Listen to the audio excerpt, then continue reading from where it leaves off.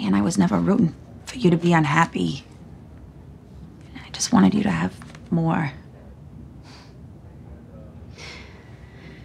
You know, I never wanted kids. I thought I'd always have boys, and then I would have to take care of them all until I died. And I felt like I already had a girl.